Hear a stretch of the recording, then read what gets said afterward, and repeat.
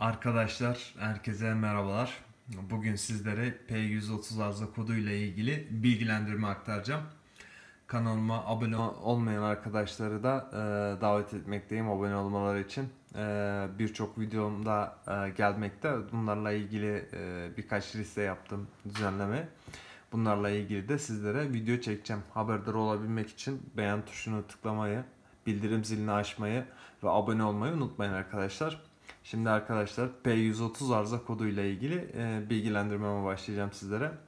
Bildiğiniz üzere araçlarımızda oksijen sensörü e, bulunmakta. Bu oksijen sensörleri arkadaşlar e, referans değerleri özellikle Opel araçlarında referans değerleri çok düşük e, üretimdedir. Yani e, yapılan e, servisteki üretimlerde arkadaşlar referans değerleri e, 0 e, 1 ile 0.9 volt yani 1 volt ara, ara bandındadır.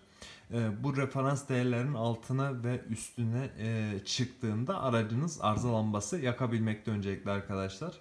Bunun e, başlıca nedenlerinden e, bir tanesi oksijen sensörünüzün kirlenmesinden kaynaklıdır.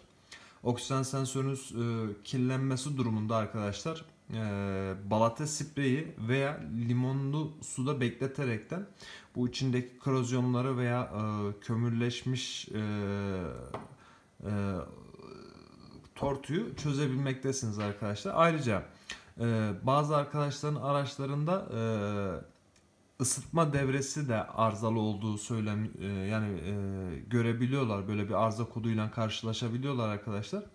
Bu tür arızalarda hani ısıtma devresiyle ilgili bir arıza gördüğünüzde e, mutlaka ve mutlaka oksijen sensörünüzün değişmesi gerekmekte arkadaşlar.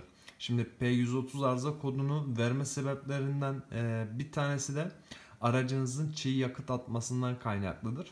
Bunun sebebi de MAP ve e, MAF sensörlerinin e, yanlış değer vermesi veya aracınızda vakum kaçaklarının oluşmasından dolayıdır. Ve P130 kodunu alan arkadaşların birçoğunda P170 arıza kodunu da görebilmektedirler arkadaşlar. Fakir karışım hatası.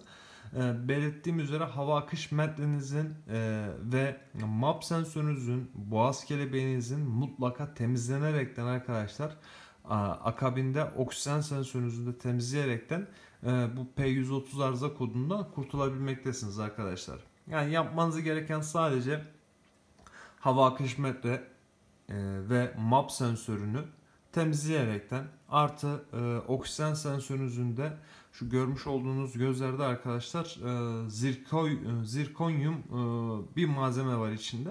Bu almış olduğu e, oksijen miktarıyla ilgili aracınızın e, eküsüne bildiriyor.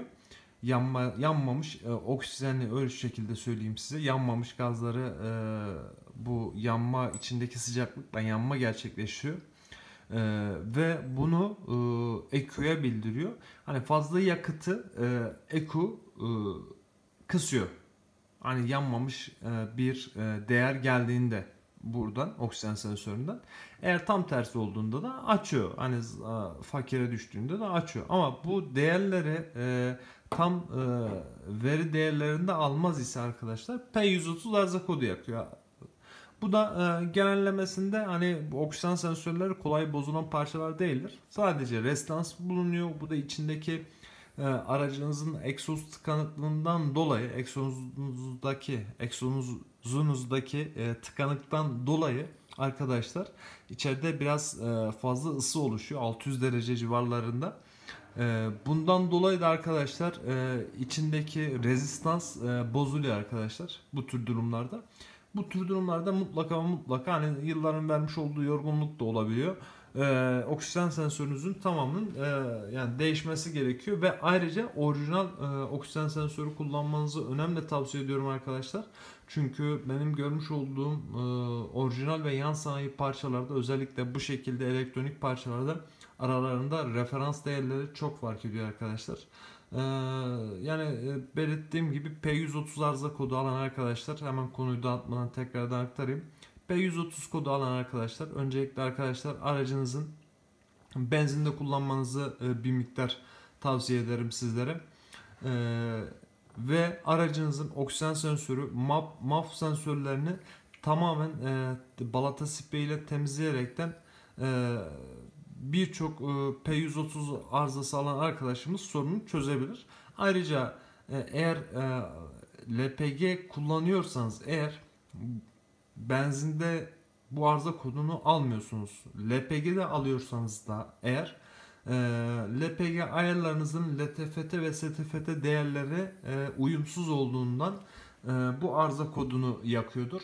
E, bunun içinde iyi bir LPG ayarı, yol ayarı özellikle hani LPG ayarı e, bayide değil de yola çıkaraktan bir ayar yapılması şarttır arkadaşlar. E, bu şekilde bir işlem yaparsanız aracınızdaki P130 arıza kodundan kurtulmuş olursunuz. Ve size şunu hatırlatmak istiyorum. Eğer arkadaşlar aracınızda arıza lambanız yanıyorsa bilin ki bir yerde yanlış giden bir durum vardır. Hani bu birçok usta hani uğraşmamak için şunu söyler. Ya yani Opel araçları e, LPG uyumlu değildir, yakar. Arkadaşlar e, yani ben e, yıllardır Opel kullanıyorum ve kullanmış olduğum tüm araçlarımda aldığımda emin olun ki arıza koduyla alıyorum ben de. Hani böyle arızalanmasını göre göre alıyorum.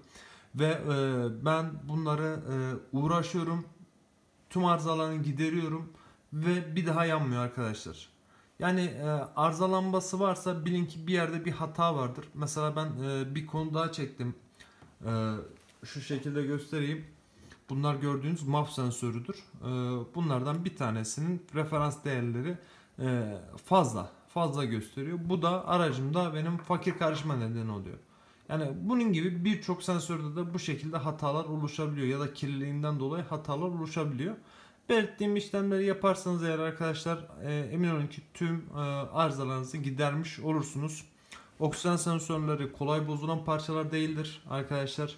Ee, ve e, temizlik yaparken mutlaka ve mutlaka buralara dikkat etmeniz gerekiyor arkadaşlar. Bunun içindeki zirkanyum e, hassas bir taştır. E, düşürmeniz durumunda e, ya da bunu fırçayla temizlemeniz durumunda ya da tenere batırmanız durumunda e, mutlaka bu ürün e, görmüş olduğunuz gibi çöp olacaktır. Ayrıca yan sanayi ürün alan arkadaşlara da görmüş olduğunuz gibi burada da bir adet çöp olmuş durumda e, duruyor. E, yan sanayi ürün. E, bunun da değerleri yanlış diye biz bunu parçaladık. İçindeki restansı belki kullanabiliriz diye ama e, maalesef ki kullanamadık. E, yani durum bundan ibaret arkadaşlar. P130 arızası e, kodu çözümlerini bu şekilde e, yapabilirsiniz. Aa, şeyi unuttum. Öncelikle arkadaşlar P130 arıza kodunun belirtileri e, motor arızalanmanız yanar. Yakıt tüketiminiz artar mutlaka. Motorunuz, e, aracın motoru çekişten düşer. Bazen de beyaz veya e, siyah dumanda görülebilmekte arkadaşlar.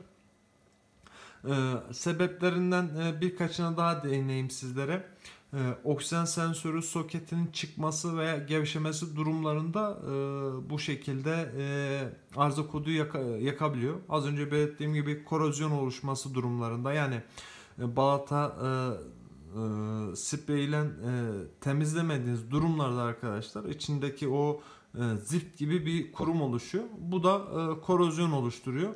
Bunu mutlaka mutlaka balata spreyiyle veya limon suda bekleterekten çözebilmektesiniz arkadaşlarız. Ayrıca motoru yeterince e, yakıt gönderilmemesi gibi durumlarda da az önce değindim sizlere.